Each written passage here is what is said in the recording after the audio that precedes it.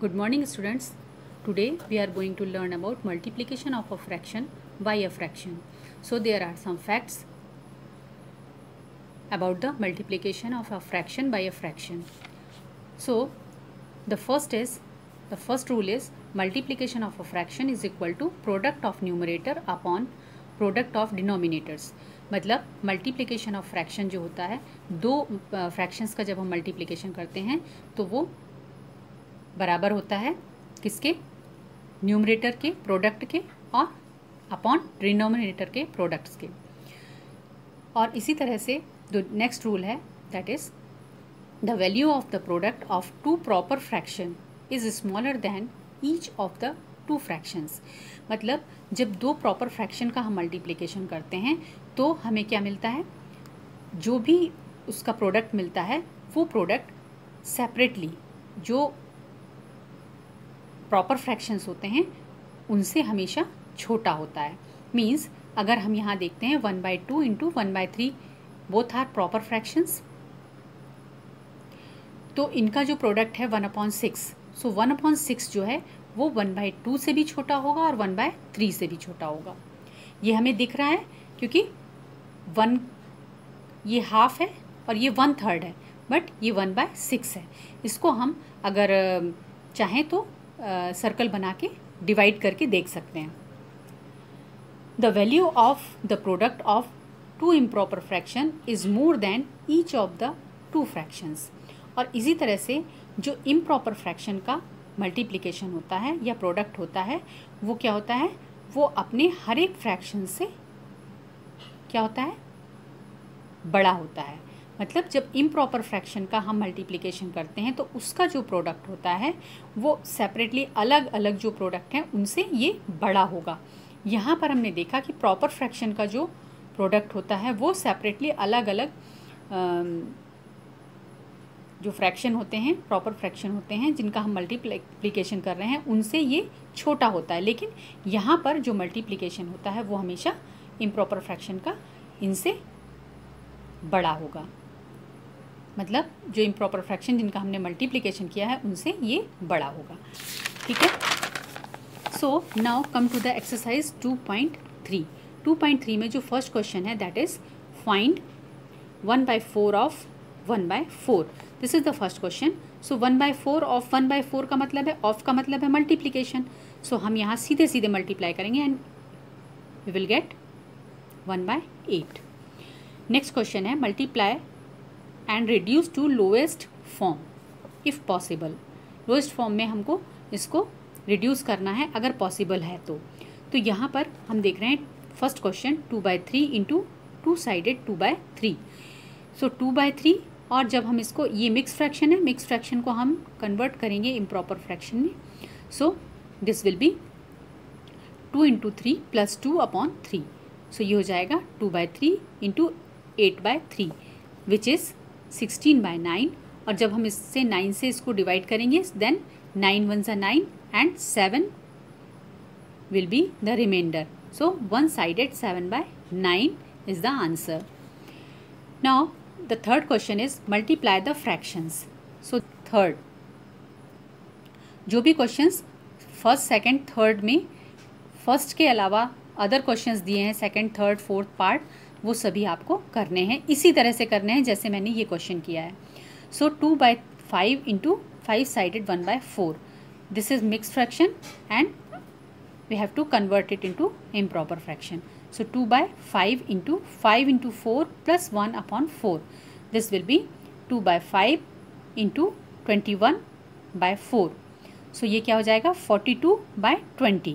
So, एक तरीका ये है कि आप सीधे 20 से इसको डिवाइड करें सो ट्वेंटी से आपने डिवाइड किया ट्वेंटी टू ज़ा forty then we will get two sided two by twenty और इसके एक तरीका और है कि आप इसको टू टू ज़ फोर इससे कैंसिल कर दें and then we will get twenty one upon ten and twenty one upon ten में भी हम टेन से इसको डिवाइड करते हैं ट्वेंटी वन को then we will get two sided one by ten यहाँ भी हम टू से इसको कैंसिल कर सकते हैं.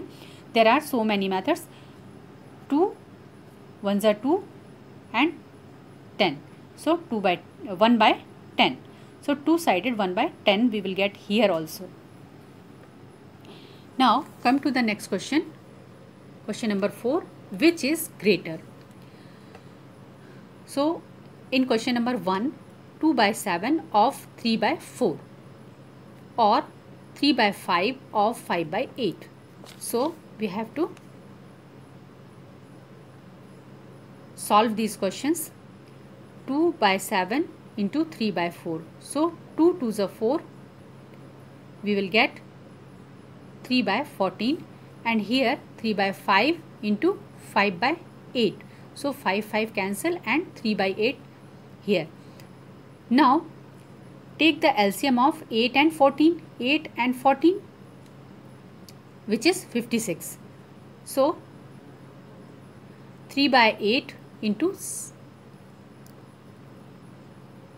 7 by 7 equal to 21 by 56 and 3 by 14 into 4 by 4 this is 12 by 56 so here we are seeing 21 upon 56 is greater than 12 upon 56 because the numerator is greater here.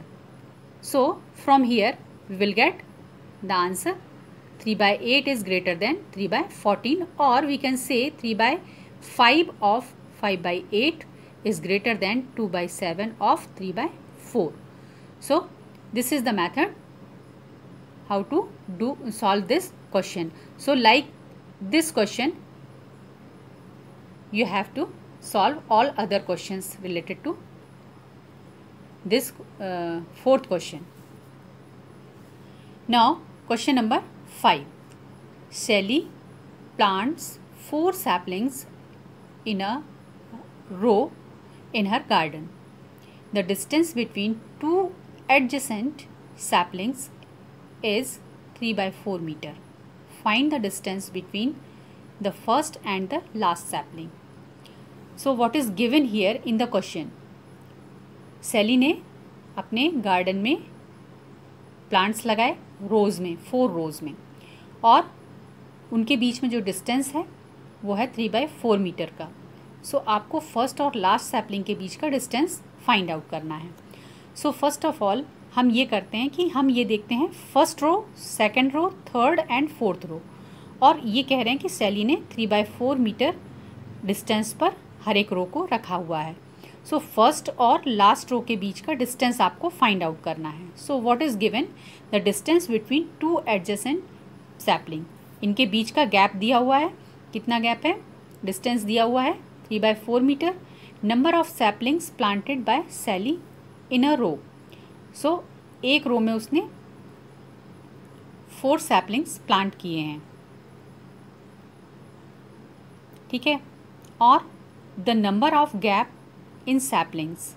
तो इन सैपलिंग्स के बीच में जो गैप होगा, वो कितना हो जाएगा? फोर सैपलिंग्स के बीच में। ये three into